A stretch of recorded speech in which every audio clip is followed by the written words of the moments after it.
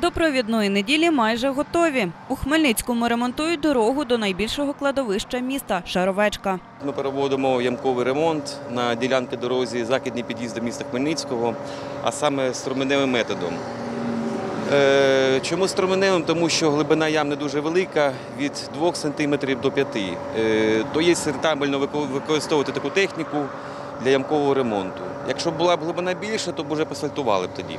А щоб дістатися до цвинтарів було легше, додали й транспорту два автобуси. Крім того, продовжать і маршрути з кінцевих зупинок до самих кладовищ, зокрема із мікрорайону Раково та заводу Катіон. на поминальну неділю 23 квітня 2023 року, починаючи з 9 до 16 години, заплановано організувати роботу двох додаткових автобусів середньої місткості від е, кінцевої зупинки громадського транспорту вулиця Довженка до кладовища у мікрорайоні Ракове, а також семи автобусів середньої та великої місткості від, кін... від зупинки громадського транспорту завод Котіон до кладовища Шаровечка. Пані Віра висаджує на могилі квіти. Каже, це не лише корисно для довкілля, а й гарно. Від штучних відмовилися давно, адже утилізувати їх потім просто неможливо без шкоди природі.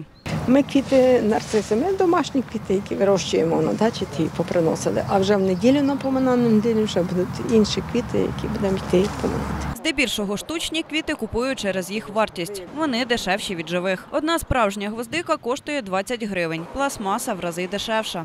І штучні беруть, і живі. Старші люди беруть іскусственні, бо їм ніби як дешевше. А скільки коштують штучні? 25 гривень.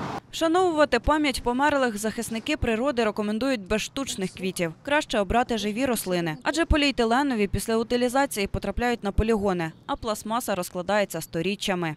Ще гірше, якщо це буде якісь е, стихійні сміттєзвалища, куди дуже часто теж, особливо я знаю в сільських місцевостях, якщо немає відведеного місця, їх просто прибирають і скидають в різних якісь ярах, посадках і так далі. Тому це дуже негативно.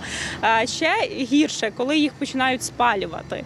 Е, Це взагалі ну насправді катастрофа, оскільки під час горіння саме ці штучні квіти вони виділяють дуже багато токсичних речовин, і це справді дуже негативно впливає е, на наше довкілля, на повітря, на здоров'я людей. Дарія Курнос, Вадим Гловацький. Новини 33 канал.